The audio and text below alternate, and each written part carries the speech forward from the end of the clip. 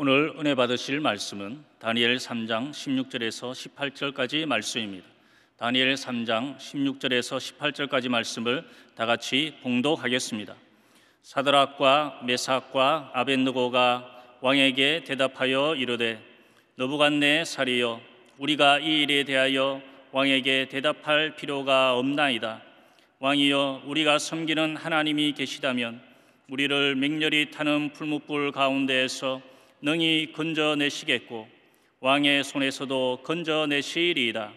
그렇게 하지 아니하실지라도 왕이여 우리가 왕의 신들을 섬기지도 아니하고 왕이 세우신 금신상에게 절하지도 아니할 줄을 아옵소서. 아멘. 하나님은 언제나 우리의 기도에 귀를 기울이고 계십니다. 코로나19 사태로 인하여서 예배를 교회에서 드리지 못하고 온라인으로 각자 있는 처소에서 예배드리는 이런 초유의 사태가 벌어졌습니다. 이러한 때 우리는 마음을 하나로 모아야 합니다. 우리가 하나님 앞에 잘못한 것이 무엇인지 우리 자신을 돌아보고 회개하고 신앙의 열정을 회복해야 될 것입니다. 하나님, 이 코로나19의 재앙이 속히 그치고 사이비 신천지 이단은 해체되고 이 땅에서 자취를 감추게 하여 주옵소서. 다시는 이러한 재앙이 우리 사회 가운데 임하지 않게 하여 주옵소서. 기도해야 될 것입니다. 고난은 변장된 축복이라 그랬습니다. 이 고난을 통하여 우리 교회들이 다시금 영적으로 재무장하고 영적인 부흥 역사를 이루게 하여 주시고 사분오열 나누어지고 다투고 싸우던 모습에서 대통합을 이루고 사회를 치료하고 변화시키는 영적 지도력을 회복하고 이 복음이 저 북녘 땅에 증거되어 남북 평화 통일이 다가오는 날이 속히 다가오게 하여 주옵소서. 이 코로나19 확산을 막기 위해서 애쓰고 있는 의료진들과 관계자들에게 은혜 내려 주시고 거짓 사입이 신천지 이단 집단에 세뇌되어 빠져 있는 저들이 속히 돌아나와 가정으로 교회로 돌아가 올바르게 신앙생활하며 살아갈 수 있게 하여 주옵소서. 우리 다 같이 통솔한 기도하겠습니다. 주여, 주여, 주여, 사랑과 은혜와 자비를 모하신 하나님 아버지, 저희들 주 앞에 엎드려 간절히 기도하오니 저희들의 기도를 귀를 기울여 응답하여 주옵소서. 저희들을 불쌍히 여겨 주시옵소서. 저희들이 주님 뜻대로 살지 아니하고 열심히 기도하지 아니하고 말씀대로 살지 아니하며 하나님께 엉돌리지 못한 죄들의 죄와 허물을 회개합니다. 감사가 사라지고 기쁨이 사라졌던 죄들의 잘못을 회개합니다.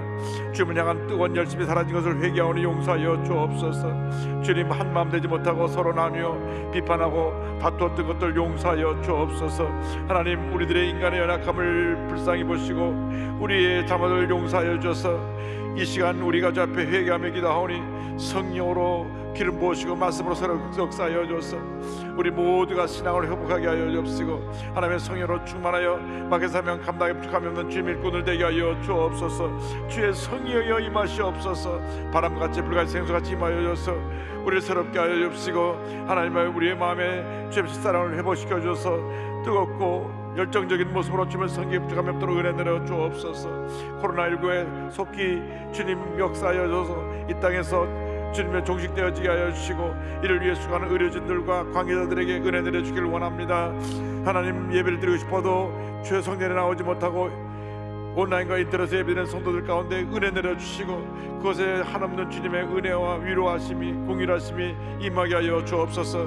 그래야 우리가 다시 주의 전에 모여 예배드릴 때에는 감사 감격 기쁨의 축제 예배가 될 수 있도록 은혜 내려 주옵소서. 하나님 우리 모두가 주 앞에 첫사랑을 회복하게 하여 주옵시고 뜨거운 열정으로 믿음의 사람으로 주님 성에 붙여감도록 은혜 내려 주시옵소서. 주님 우리와 함께 하시고 주님 역사하여 주시옵소서. 평화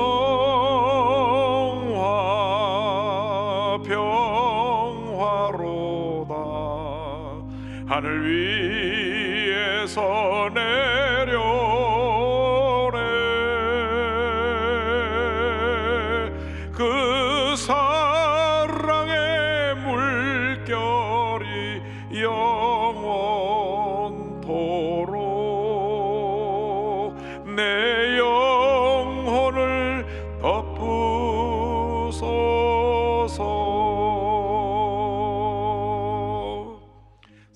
은혜와 자비가 원하신 하나님 아버지 저들의 죄 허물을 용서하여 주시고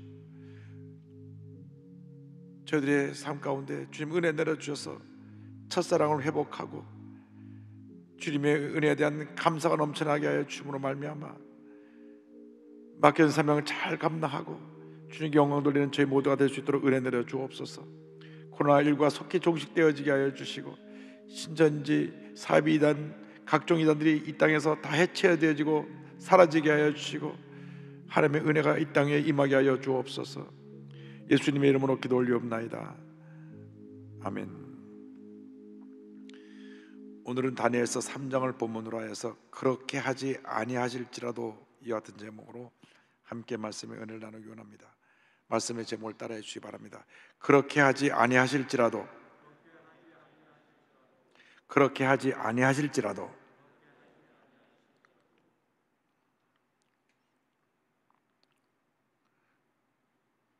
코로나19가 급속도로 전 세계로 확산되어져서 온 세계가 불안과 공포에 휩싸였습니다.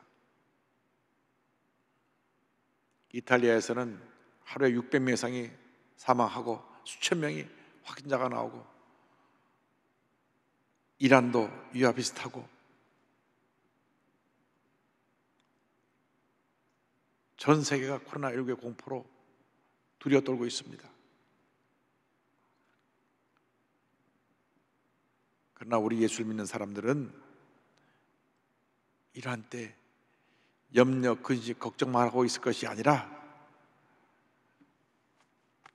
마음을 강하게 하고 담대히 해서 더욱 믿음을 굳세게 해서 주님만 믿고 의지하고 바라보고 나가야 할 것입니다. 우리가 살아가다 보면 갖가지 시험과 환란이 우리에게 다가옵니다. 그런 때 우리는 우리 믿음을 지켜야 됩니다. 하나님의 약속의 말씀을 꼭 붙잡고 기도하면서 더욱더 주님을 믿고 의지하고 나갈 때에 믿음의 전진을 해 나갈 때에 하나님께서 우리에게 복을 내려주시고 승리의 삶을 살게 만들어 주실 것입니다. 먼저 믿는 자들에게 다가온 고난에 대해서 함께 생각해 보기를 원합니다. 오늘 말씀의 배경은 남한국 유다가 주전 586년 바벨론에 의해 멸망을 당하고 그리고 이 유다 왕국의 많은 인재들과 지도자들이 바벨론의 포로 끌려가서 생활할 때 이야기입니다. 그 포로 끌려간 사람 가운데 다니엘과 다니엘의 세 친구 사드락, 메삭, 아벤누고가 있었습니다. 워낙 뛰어난 사람들이었기 때문에 그들이 뽑혀져서 포로 끌려온 그들이 바벨론 왕국의 주요 관직을 맡게 되었습니다. 각기각기 어느 지역을 다스리는 책임자가 되었고 다니엘은 전국을 다스리는 그러한 높은 위치에 올라가게 되었습니다. 그런데 어느 날 바벨론의 느부갓네살 왕이 금신상을 만들어 놓고 모든 신하들이 와서 다 절을 하라 그랬는데 이 금상이 얼마나 규모가 큰지 높이가 60규빗 약 27m입니다.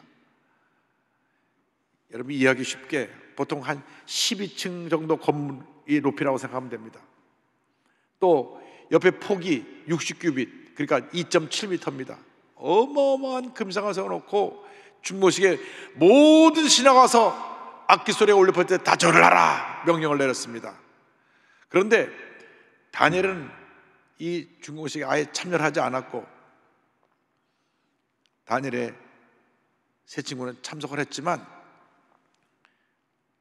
악계 올려 퍼지고 다 엎드려 절을 할때 꼿꼿이 서서 금신상에 절을 하지 않았습니다.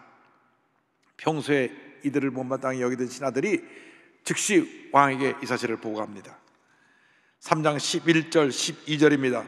누구든지 엎드려 절하지 아니하는 자는 맹렬히 타는 풀물 가운데에 던져 넣음을 당하리라 하지 아니하셨나이까? 이제 몇 사람 유다 사람 사드락과 메삭과 아벤느고는 왕이 세워 바벨론 지방을 다스리게 하신 자이건을 자이건을 왕이여 이 사람들이 왕을 높이지 아니하며 왕의 신들을 섬기지 아니하며 왕이 세우신 금상 금신상에게 절하지 아니하나이다. 바벨론 왕의 다른 신하들은 이 포로들이 끌려와서 높은 있는 것을 늘 못마땅히 여겼습니다. 저들의 허물이 무엇일까 늘 살펴보고 있었는데 마침 저들이 금상 앞에 절하지 않는 것을 보고 왕에게 가서 고발합니다. 왕이요, 왕이 세운 사람들이 왕을 높이지 아니하고 왕의 신들에게 절하지 아니하고 왕이 세운 금신상에게 저들이 절을 하지 않았습니다. 한편에서는 왕을 높이면서 그들의 잘못을 지적했습니다. 저들이 왕을 무시했습니다. 왕이 세워서 그런 높은 위치에 서 있음에도 불구하고 왕이 섬기는 신을 섬기지도 않고 절하지도 않고 저렇게 왕의 명령에 불복종했습니다. 그 말에 느부갓네살 왕이 화가 났습니다. 그래서 당장 그들을 끌고 오라고 명령합니다. 13절입니다. 느부갓네살 왕이 노하고 분하여 사드락과 메삭과 아벤느고를 끌어오라 말하며 드디어 그 사람들을 왕의 앞으로 끌어온지라. 우리 예수를 믿는 사람들은 하나님이 택하고 불러 세우신 자들입니다. 세상의 신이 아니라 참 신이신 하나님만을 섬기고 세상의 법을 지키지만은 세상의 방법을 따르지 아니하고 하나님의 방법을 따르는 하나님의 사람들입니다. 죄악된 세상은 믿음의 사람들을 무차별하게 공격합니다. 하나님을 버리고 세상을 따르라고 위협하기도 하고 때때로 우리를 회유하기도 합니다. 신천자 같은 이들도 어떻게 하든지 믿는 사람들을 무너뜨리기 위해서 수단과 방법을 가르지 않고 미혹하는 것입니다. 그런데 우리들은 이러한 때 믿음을 지켜야 됩니다. 왕은 신상에 절하지 않은 세 사람에게 이같이 엄하게 말을 했습니다. 3장 15절입니다. 이제라도 너희가 준비하였다가 나팔과 피리와 수금과 사면금과 양금과 생황과 및 모든 악기 소리를 들을 때 내가 만든 신상 앞에 엎드려 절하면 좋거니와 너희가 만일 절하지 아니하면 즉시 너희를 맹해를 타는 풀불 가운데 던져 놓을 것이니 능히 너희를 내 손에서 건져낼 신이 누구이겠느냐 하니 지금이라도 악기 소리가 울려 볼때 너희가 절을 한다면 살려주겠지만 그렇지 않으면 저 풀불에 집어넣을 것이다. 어떤 신이 너희들을 저 풀불에서 건져낼 수 있을 것인가? 이 풀불은 용광로입니다. 용광로는 쇠도 녹입니다. 그러니까 너희들이 저 뜨거운 불 속에 들어갈 텐데 어떤 신이 너희들을 구원할 수가 있겠느냐고 왕이 말한 것입니다. 때때로 예상 살아가는 동안 우리가 감당하기 힘든 큰 어려움과 고난이 다가오기도 합니다. 너무 견디기 힘들어서 차라리 죽었으면 좋겠다 하는 그러한 고통에 빠질 때가 있습니다. 밤잠을 이루지 못하고 눈물로 밤을 새울 때가 있습니다. 그러나 아무리 힘들고 어렵다고 할지라도 주위를 둘러봐 그 어제도 희망이 보이지 않고 캄캄한 칠 같은 어둠 방 같은 그러한 상황이라고 할지라도 눈을 들어 믿음의 주에 온전케 하시는 예수님만 바라보고 믿음으로 전진 또 전진 또 전진해 나가시기 바랍니다. 마음을 강하게 하고 담대해서 마음을 강하게 하고 담대해서 여러분 앞에 다가온 고난을 헤쳐나가며 믿음으로 전진해 나가는 여러분 되시기를 주님의 이름으로 축원합니다. 둘째로 고난 중에 믿음을 지킨 세 사람에 대해서 함께 생각해 보기를 원합니다. 느부갓네살 왕의 말을 듣고 세 사람이 이렇게 답변합니다. 17절입니다. 왕이여 우리가 섬기는 하나님이 계시다면 우리를 맹렬에 타는 풀문불 가운데서 능히 건져내시겠고 왕의 손에서도 건져내시리이다. 그들은 진정한 하나님의 사람들이었습니다. 믿음의 사람들이었습니다. 하나님에 대한 절대적인 신뢰와 믿음, 확신을 갖고 있었습니다. 초보적인 신앙의 사람들은 늘 자기의 유익만을 강구합니다. 이것도 주시고 이것도 주시고 이것도 주시옵소서. 그러다가 어려움을 당하면 교회를 떠나기도 하고 쉽게 상처받고 시험에 들기도 합니다. 성숙한 신앙에는 문제가 다가올 때 뒤로 물러가는 것이 아니라 더욱 주님께 매달리고 믿음으로 전진해 나가는 사람들입니다. 그들은 그들에게 이와 같은 큰 고난이 닥쳐왔을 때에 설령 내가 죽는다고 할지라도 내가 믿고 의지하고 섬기는 하나님을 절대로 배반할 수가 없습니다. 우리의 믿음을 지키겠습니다. 믿음을 고백한 것입니다. 그래서 우리들은 그 금시상에 절할 수 없습니다 고 담대히 고백한 것입니다. 수많은 믿음의 조상들이 이같이 믿음을 지키다가 순교의 자리까지 갔던 것입니다. 이 세 사람은 왕 앞에서 자기들의 믿음을 고백합니다. 하나님께서 우리를 그 풀물불에서 능히 건져 주실 것입니다. 그런데 그들의 놀라운 신앙의 고백이 18절에서 이어서 나옵니다. 그렇게 하지 아니하실지라도 왕이여 우리가 왕의 신들을 섬기지도 아니하고 왕의 세우신 금상에게 절하지도 아니할 줄을 아옵소서. 하나님께서 우리를 불문에서 건져 주시겠지만 그렇게 하지 아니하실지라도 우리는 믿음을 지키겠습니다. 그렇게 하지 아니하실지라도 그렇게 하지 아니하실지라도 내게 죽음이라고 하는 그러한 절망적인 순간이 다가온다고 할지라도 나는 믿음을 지키겠습니다. 하나님의 절대 주권을 의지하고 믿음으로 주 앞에 나아가는 이 같은 믿음의 사람들이 우리가 되어야 합니다. 절대 긍정, 절대 감사의 믿음으로 모든 고난을 헤쳐나가고 이기는 여러분 되기를 바랍니다. 하나님께서 인정하시는 믿음의 사람들이 되기를 바랍니다. 하나님은 믿음의 사람을 찾고 계십니다. 믿음의 사람과 함께 하시며 믿음의 사람을 통해서 큰일을 이루시고 믿음의 사람을 통하여 주님의 영광을 나타내 주시는 것입니다. 그래서 히브리서 11장 6절을 말씀합니다. 믿음이 없이는 하나님을 기쁘시게 하지 못하나니 하나님께 나아가는 자는 반드시 그가 계신 것과 그가 자기를 찾는 자들에게 상 주시는 이심을 믿어야 할지니라. 마음을 강하게 하고 담대하시기 바랍니다. 마음을 강하게 하고 담대해서 강한 믿음의 사람이 되어서 주님만 전폭적으로 의지하고 약속의 말씀, 말씀 붙잡고 전진 또 전진 전진에 나갈 때 놀라운 일들이 일어나게 되는 것입니다. 지금 모든 것이 절망적이고 눈에는 보이는 것 없고 귀에는 들리는 것 없고 손에는 잡히는 것 없는 그러한 고난의 밤을 지낸다고 할지라도 약속의 말씀 붙잡고 주 앞에 간절히 기도하며 믿음으로 전쟁에 나갈 때 반드시 여러분에게 하나님의 은혜와 축복이 승리가 다가오게 될 것입니다. 절대 긍정, 절대 감사의 믿음이 위대한 기적을 창조하는 것입니다. 우리가 정말 절망의 벼랑 끝에 서서 떠밀려 떨어지는 것 같은 그러한 순간에 주님께서 우리에게 믿음의 날개를 달아주셔서 천국을 날아오르게 만들어 주시는 것입니다. 하나님은 역전의 하나님이십니다. 절망이 많아요. 희망이 되게 만들어 주시고 슬픔이 많아요. 기쁨이 되게 만들어 주시고 우리의 실패가 많아요. 성공이 되게 만들어 주시는 참으로 좋으신 하나님이신 것입니다. 이 하나님을 믿고 오져 나가는 믿음의 사람들이 다 되시길 바랍니다. 반드시 고난을 통과하여 우리에게 예비한 놀라운 은혜와 축복을 받아 누릴 수 있도록 주님이 우리의 삶을 주관해 주실 것입니다. 셋째로 고난 중에 도우시는 주님에 대해서 함께 은혜를 나누기 원합니다. 왕이 진노했습니다. 저 풀불을 평소보다 더 뜨겁게 해라. 일곱 배나 뜨겁게 하라고 말했습니다.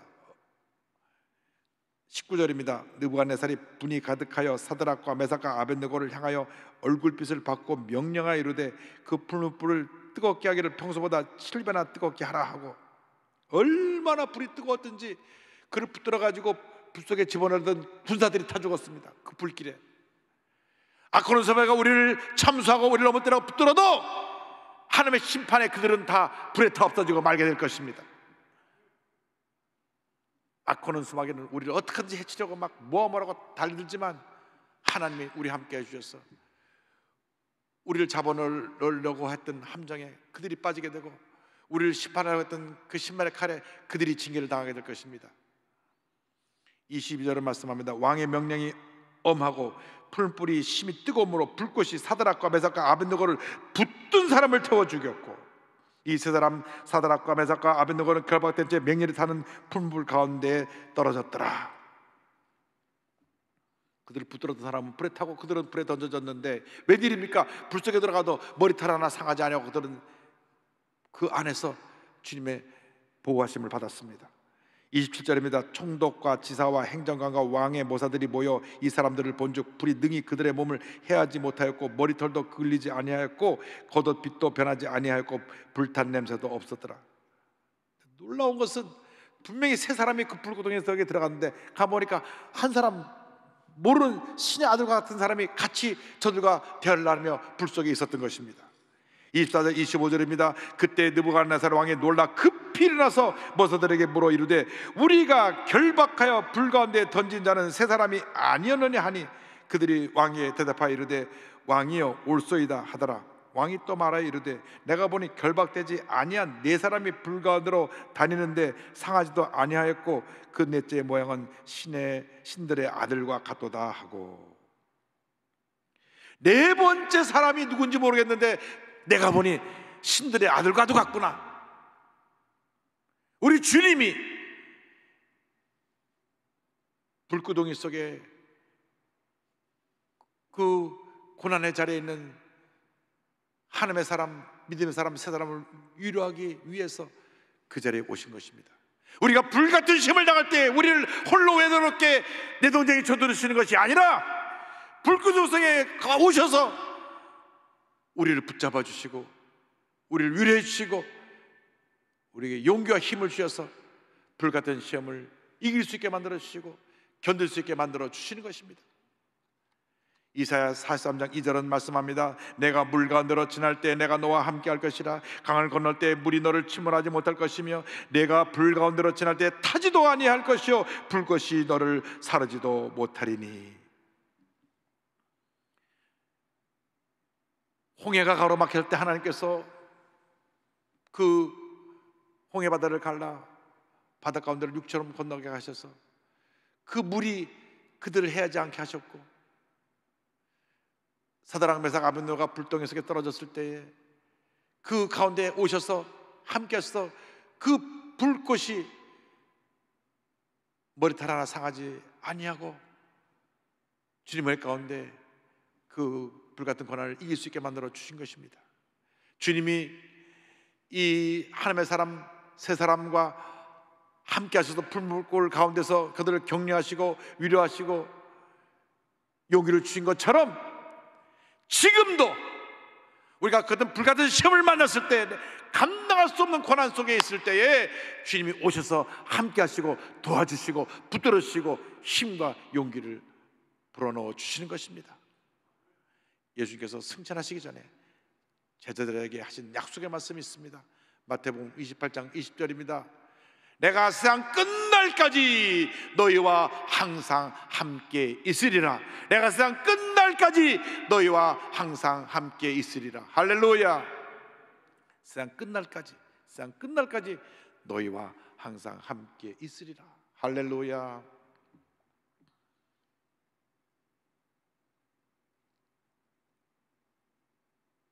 그래서 저들을 부릅니다. 이리 나오너라. 나오는데 네 번째 사람은 보이지 않고 세 사람이 나오는데 머리탄 하나 상하지 아니하고 그저 어디 하나 화상을 입은 것이 없는 건강한 몸으로 나왔습니다. 없어진 것이 딱 하나입니다. 뭐냐면 그들을 묶고 있던 끈입니다. 고난의 품을 통해서 우리에게서 사라지는 것은 우리를 묶고 있던 모든 절망의 끈, 상처의 끈, 분노의 끈, 미움의 끈, 염려 근심 걱정의 끈, 참수의 끈들이 다 태워지고 사라져 버릴 뿐인 것입니다. 할렐루야.